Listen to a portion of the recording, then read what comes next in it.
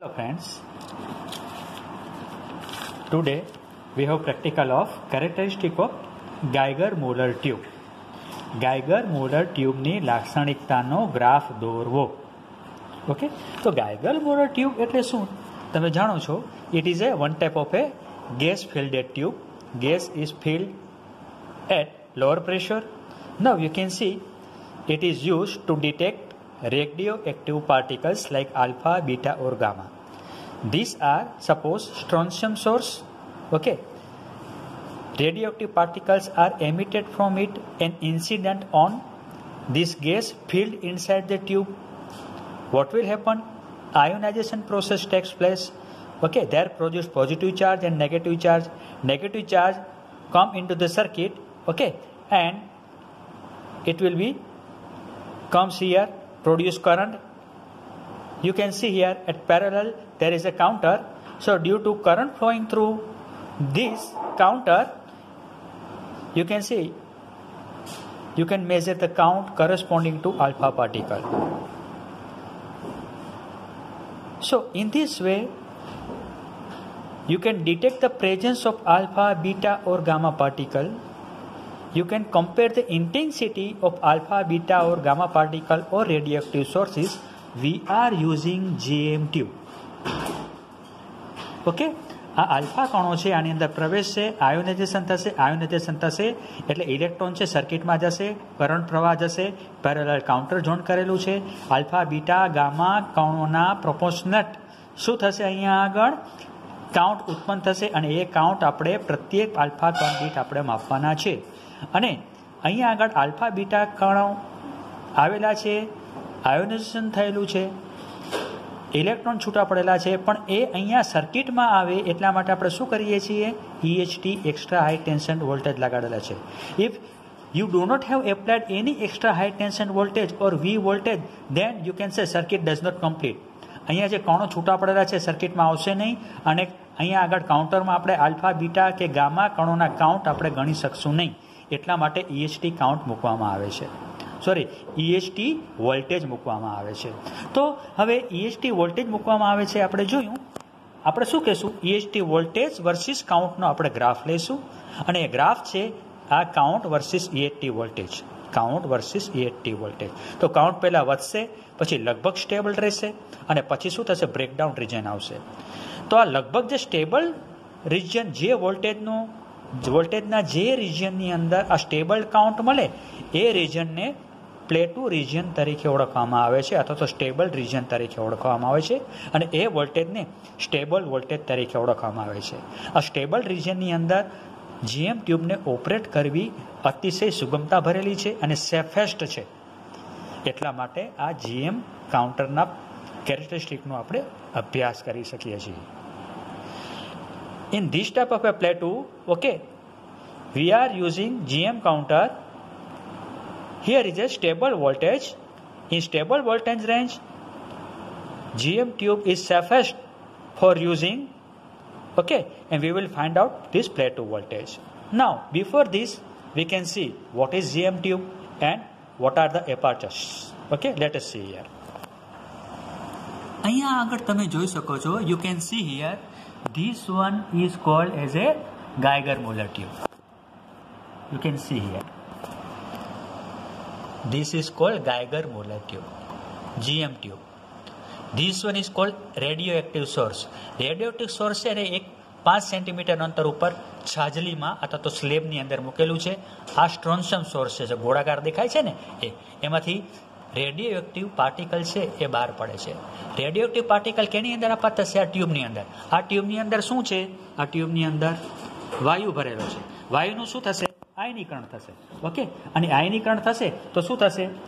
Electron છૂટા પડશે, electron છૂટા પડશે તો કરંટ ઉત્પન્ન થશે અને આ સર્કિટમાં તમે જોયા, વાયર દ્વારા અહીંથી અહીં આવે છે અને કેમાં આવે છે? એ વાયા વાયા આ કેબલ દ્વારા આની અંદર આવશે એ પેરેલ જે કાઉન્ટર મૂકેલું છે, એ કાઉન્ટરમાં આવશે. એ કાઉન્ટરને શું લગાડેલા છે? આપણે ઈએચટી વોલ્ટેજ તમે જોઈ શકો છો આ EHT voltage EHT voltage voltage આપણે લગાડશું તો જ અહીંયા કાઉન્ટ નોંધી શકશું. બાકી આપણે આલ્ફા, બીટા ગણો, કણો જે આયોનાઇઝેશન કરે છે, એના કાઉન્ટ આપણે નોંધી શકશું નહીં. So EHT voltage is useful for counting alpha, beta particles. એનું રેડિયેશન છે, એના કાઉન્ટરની મદદથી આપણે કાઉન્ટ કરી શકીએ છીએ. તો કાઉન્ટરમાં શું હોય? તો આની મદદથી આપણે ઈએસટી વોલ્ટેજ છે, બરાબર? એની આપણે વધારતા જશું. દાખલા કે ત્રણસો પચાસ, ત્રણસો, પછી ચારસો પચાસ, પાંચસો, સાતસો પચાસ, આઠસો, એક હજાર પચાસ આપણે વધારતા જશું. અને કોરસ્પોન્ડિંગ શું કરતા જશું? અહીંયા કાઉન્ટ માપતા જશું. અને એ ઉપરથી આ બંનેનો શું કરશું? આપણે ગ્રાફ દોરીશું. આ વોલ્ટેજ વર્સિસ કાઉન્ટ અથવા તો કાઉન્ટને વાય એક્સિસ ઉપર લેશું અને એક્સ એક્સિસ ઉપર લેશું. અને એની કેરેક્ટરિસ્ટિક આપણે આપવાનો પ્રયત્ન કરીશું. કાઉન્ટ શું કામ મળે છે? કાઉન્ટ એટલા માટે મળે છે કે અહીંયા આગળ જે આયોનાઇઝેશન થયું, બરાબર? એ આયોનાઇઝેશન થઈ, જે કરંટ ફ્લો થયો, એ સર્કિટમાં જાય અને યોગ્ય સર્કિટની મદદથી એ અહીંયા આગળ એ કાઉન્ટ આપણને આપે. પણ એ કાઉન્ટ છે, બરાબર? એ કાઉન્ટનો દર એ ક્યારે મળે આપણને અહીંયા કાઉન્ટનો દર? તો ઈએસટી વોલ્ટેજ લગાડેલા હોય તો. નહીં તો ઇલેક્ટ્રોન એનોડ કે કેથોડ તરફ જશે જ નહીં, ટ્યુબમાં જ પડ્યા રહેશે અહીંયા. એટલામાં અહીંયા આપણે ઈએસટી વોલ્ટેજ લગાડીએ છીએ આ બે વચ્ચે. જે તમે પ્લાઝમામાં પણ શીખી ચૂકેલા છો કે એટી વોલ્ટેજ લગાડવા જ પડે. ઓકે? તો ચાલો. અહીંયા આગળ જો. આ બીજું છે અહીંયા આગળ. એ દાખલા તરીકે અહીંયા આગળ જો અહીંયા અહીંયા તમે જોઈ શકો છો. ચારસો પચાસ છે. બરાબર? એની અંદર આ વત્તા પચાસ કરવા હોય, અથવા તો નેવું કરો તો ચારસો પચાસ વત્તા નેવું. એનો સરવાળો થયેલા વોલ્ટેજ ગણાય.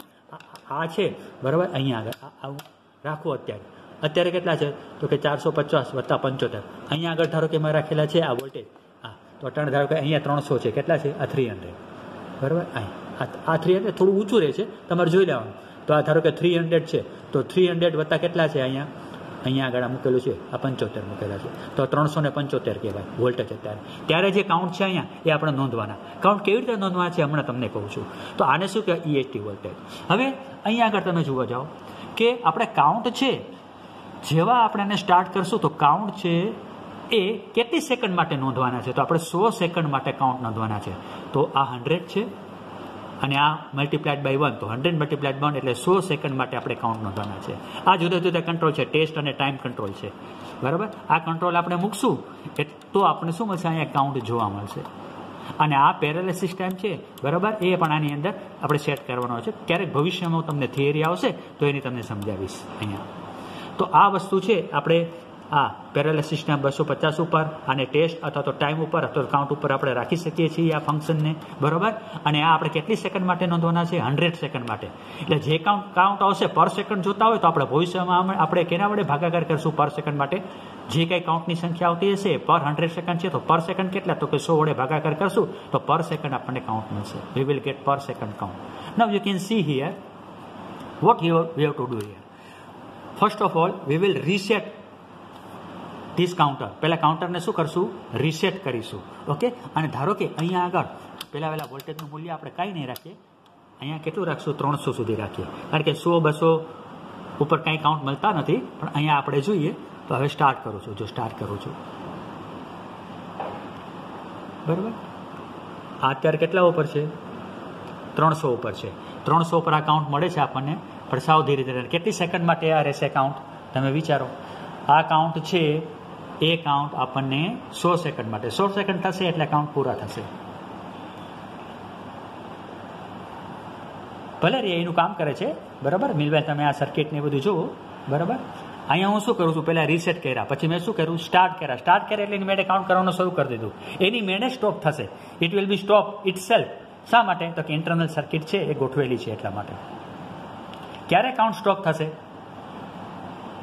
When it will be stop it will be stop after hundred seconds okay તો આપણે શું કરવાનું છે? Here you can see this chart આપણે how we we will perform this practical you can see EHT voltage now count per hundred second તો પહેલી વખત આપણે કરીએ ત્યારે આટલા કાઉન્ટ ફરીવાર રિસેટ કરી અને ફરી પાછો સ્ટાર્ટ દબાવીએ. અને હંડ્રેડ સેકન્ડ ઉપર આપણે મૂકી દઈએ ત્યારે આટલા કાઉન્ટ મળશે. ફરી પાછી રિસેટ કરીને ફરી પાછા કાઉન્ટની સ્વીચ દબાવીએ. હંડ્રેડ સેકન્ડ પછી આટલા કાઉન્ટ પછીને શું આપશું આપણે? એવરેજ આપી દઈશું. ક્લિયર અને કાઉન્ટ પર સેકન્ડ એટલે આને હંડ્રેડ વડે ભાગાકાર કરીએ તો કાઉન્ટ પર સેકન્ડ તો કાઉન્ટ પર સેકન્ડ વર્સેસ ઇએસટી વોલ્ટેજનો આપણે ગ્રાફ દોરવાના છીએ. Now you see here hundred second પૂરી થઈ ગઈ છે. આફ્ટર હંડ્રેડ સેકન્ડ ના, હજી ચાલુ જ છે. કાઉન્ટ ચાલુ જ છે એટલા માટે જોઈએ. લેટેસ્ટ સી હંડ્રેડ સેકન્ડ હજી પૂરી નથી થઈ. એક મિનિટ અને ઉપરાંત ચાલીસ second so here comes this type of observation okay three six zero voltage એટલે વોલ્ટેજ તો તમે ગમે એ લખી શકશો, પણ ઓછા વોલ્ટેજથી શરૂ કરવાનું અને મેક્સિમમ પાંચસો કે સાતસો વોલ્ટેજ સુધી જવાનું. વધારે હાયર વોલ્ટેજ ઉપર શું થાય ખબર છે? આ બ્રેકડાઉન રિજન થાય. તો આપણે ટ્યુબને નુકસાન પામે એટલે સાતસો વોલ્ટેજ કરતાં વધારે વોલ્ટેજ અહીંયા મૂકવાના નથી. Beyond seven hundred voltage okay tube will be enter in a breakdown region okay so it will be damaged so we should not increase the voltage greater than 700 to 800 એનાથી વધારે આપણે voltage વધારવાના નથી clear तो आपको क्या करना है first of all let me say okay this one is GM tube ये जीएम ट्यूब है ये रेडियो एक्टिव सोर्स है रेडियो एक्टिव सोर्स में से अल्फ़ा बीटा पार्टिकल एंटर होते हैं। एंटर होते हैं तो क्या होता है? यहाँ से काउंट है तो काउंटर में एंटर होते हैं। काउंटर में से क्या मिलता है हमको? काउंट मिलता है। We are measuring count per hundred second ये हंड्रेड है। Count per hundred second okay ये क्या है? ई एस टी वोल्टेज ये टी वोल्टेज हम वेरी करते जाएँगे वेरी करते जाएँगे। न get will get corresponding count okay तो आप अंदर देख सकते हो, पहले 300 पर 100 सेकंड के बाद हमको कितने काउंट मिले? सॉरी 100 सेकंड के बाद 300 वर्ल्ड पर हमें 118 काउंट मिले। तो यहाँ सपोज़ यहाँ आप, आप कितना लिखो? यहाँ आप लिख सकते हो। थ्री डबल ज़ीरो तीन सौ। इधर कितना मिला? वन वन एट तो आपको इधर वन वन एट लिखना है। ओके दूसरी बार इसको रीसेट करो। ओके और फिर से स्टार्ट करो आप। ओके फिर वापस क्या होगा? इधर से क्या करना है हमको? रीसेट करना है नया रीडिंग लेने के लिए। और वापस क्या है? स्टार्ट करना है। Ever you will start again it will be count for hundred seconds okay hundred second आएगा तो अपने आप थंब हो जाएगा स्टॉप हो जाएगा। तो बाद में ये दूसरा वाला, दूसरा प्रयास का रीडिंग ये अगेन यू रीसेट इट और तीसरा प्रयास का रीडिंग इधर लिखेंगे आप लोग। ओके बाद में इसकी एवरेज निकाल कर ये अच्छा बस 300 वोल्टेज पर इतना इतना इतना काउंट मिला और यहाँ हम उसको लिख लेंगे। ये क्या है? ये एवरेज है। ये average let me write this one is average this one is a average average इसका एवरेज मिलेगा हमको। ये एवरेज है। One two three three times हमने प्रैक्टिकल किया है। सपोज़ ये वोल्टेज पर। ओके थ्री टाइम प्रैक्टिकल किया तो उसकी एवरेज आप यहाँ निकाल सकते हो।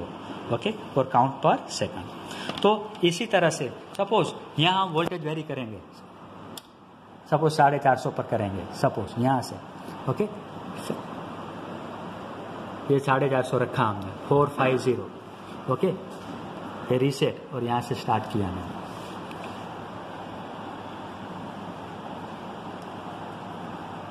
तो इधर में क्या लिखूं अभी?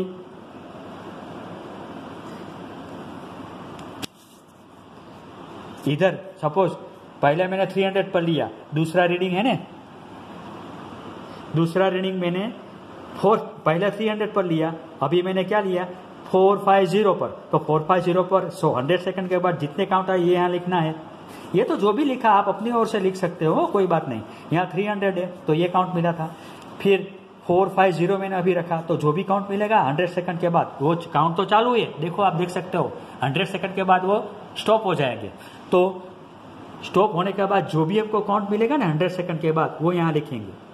बाद में रिसेट करके दूसरी बार स्टार्ट दबाएँगे तो दूसरी बार 100 सेकंड के लिए होगा, तीसरी बार स्टार्ट करेंगे और 100 सेकंड के लिए मिलेगा और तीनों का 450 वोल्टेज के लिए ये हमें यहाँ ये एवरेज वैल्यू मिलेगी ये तीनों की।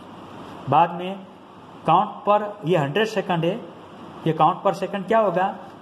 29.44 है, ये चार है तो दो डिजिट इसमें से कट हो जाएँगे, इस तरह से।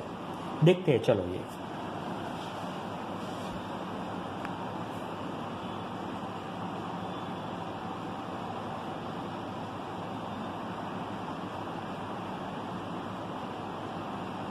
देखो हंड्रेड ये अकाउंट बहुत मीन है, देखो आप लोग फोर फिफ्टी पर, है ना? क्योंकि एच टी बढ़ाया ना, इसलिए। देखो, अब स्टॉप हो गया। तो साढ़े चार सौ पर आपको कितना लिखना है? साढ़े चार सौ दस हज़ार five ten thousand five four six तो यहाँ सपोज़ आप साढ़े चार सौ लिखेंगे। यस इधर, तीन सौ, साढ़े चार सौ। साढ़े चार सौ पर अभी रीडिंग आपको मिला ना कितना मिला? Ten, four, five, six. तो इधर क्या लिखना है आपको? Ten, four, five, six. बहुत ज़्यादा मिला, कोई बात नहीं, ये यहाँ थ्री, सेवन, फाइव नहीं है, सपोज़ फोर, फाइव, ज़ीरो लेंगे तो यहाँ इतना रीडिंग मिलेगा आपको। Okay? Ten, four, five, six लिखेंगे आप। दूसरी बार क्या करेंगे? यहाँ से उसको रीसेट करेंगे। दूसरा रीसेट करके वापस स्टार्ट करो। वापस स्टार्ट करोगे तो यहाँ टेन, फोर, फाइव, सिक्स आपने लिखा तो यहाँ टेन फोर फाइव ज़ीरो भी मिल सकते हैं, यहाँ टेन थ्री थ्री टू भी मिल सकते हैं तो तीनों की एवरेज लेना। और इधर इधर लिखना चाहिए। तो इस तरह से हर एक वोल्टेज पर, हर एक ई वोल्टेज आप इंक्रीज करते जाओ इंक्रीज करते जाओ, यहाँ तक लो 800 तक। ओके? सपोज़ ये रिसेट कर दो। ओके? फिर वापस ये साढ़े सात सौ लगाया। और ये बाद में स्टार्ट किया। फिर नौ ओके? आठ सौ, नौ सौ लगाया, बाद में स्टार्ट किया। तो इस तरह से ये रेंज क्या कर दो आप पूरी कर दो। कभी कभी क्या होता है हमको और भी फाइन लीनिंग रेनिंग होता है तो ये सपोज़ ये साढ़े चार सौ है सपोज़ साढ़े चार सौ। तो ये आप साढ़े चार सौ प्लस इसको क्या कर सकते हो? साढ़े चार सौ प्लस सिक्सटी देखो साढ़े चार सौ प्लस सिक्सटी तो क्या होता है? ओके फाइव वन ज़ीरो तो ये पाँच सौ दस वोल्टेज पर ये का, ये काउंट आपको मिल सकता है। तो इस तरह से आप फाइन रीडिंग और भी फाइन रीडिंग ले सकते हो। ये रीसेट है ये सेट तो बीच में कोई वाला रीडिंग आपको लग, ऐसा लगता है कि ये मेरे को लेना है तो ये फाइन ट्यूनिंग इसके साथ इसके साथ प्लस होगा। इसके साथ ये प्लस होगा जितना भी रखो तो वो भी आप बीच में ऐसे ऐसे रीडिंग ले सकते हैं। क्लियर ये दोनों के बीच ये दोनों के बीच सपोज़ ये और दोनों के बीच लेना है ये दोनों के बीच ये और दोनों के बीच तो ये फाइन ट्यूनिंग ये दोनों के बीच लेना है तो भी ये फाइन ट्यूनिंग ये प्लस आप आप कर सकते हैं इतने रीडिंग। तो इसी तरह से देखो मैंने पहले प्रयोग किया था ओके इसमें स्टोन सम की जगह मैंने कोबाट लिया था। कोई भी आप लोग यूज़ कर सकते हो। इसमें आप देख लो पहले रीडिंग पहले एट्टी वोल्टेज मैंने कितना रखा था? Three six zero three six zero कैसे रख सकते हैं? इसको इसको थ्री हंड्रेड रखो। ये वाला थ्री हंड्रेड नीचे। नीचे थ्री हंड्रेड और यहाँ सिक्सटी है। ये सिक्सटी तो थ्री सिक्स ज़ीरो हो गया। ये वाला है ना इधर से। ओके और रिसेट करके स्टार्ट किया। ओके और हंड्रेड सेकंड के लिए मैंने लिया तो थ्री सिक्स ज़ीरो पर ये आया। बाद में फर, मैंने रीसेट किया ये। बाद में रीसेट किया अगेन स्टार्ट किया। अगेन हंड्रेड सेकंड के लिए थंब किया मैंने स्टॉप किया। ओके तो मेरे को दूसरा वाला रीडिंग मिला फिर से रीसेट किया। तीसरा वाला तीनों का मैंने एवरेज निकाली तो ये मिला मेरे को। डिवाइडेड बाई हंड्रेड किया। ओके तो काउंट पर सेकंड मिला। बाद में थ्री सेवन फाइव लिखा। ये ये सेवेंटी फाइव लगाया मैंने।